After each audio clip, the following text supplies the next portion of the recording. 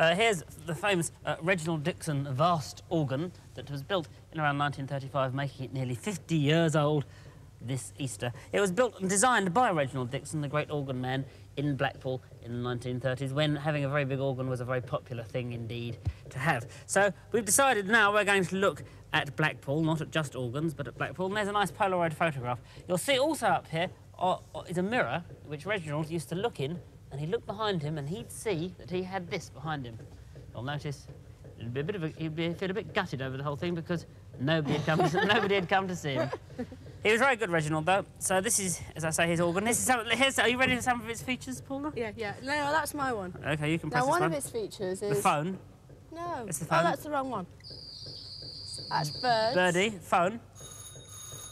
This is... This Pennsylvania Is 65000, they would have gone. this Horse, one. horse. Horses' hooves, going very fast. The sea. Another bird. And that's a fire gong. And you can have anything for... Which is very useful in the Play the- middle of a song. play the really. piano simultaneous, or you can alternatively have the jazziest organ in town. Well, that's the jazziest piano in town. Oh, we'll press this one. Reginald often had this trouble, and that's probably why, why it had an empty house. There we are, the jazziest organ in town.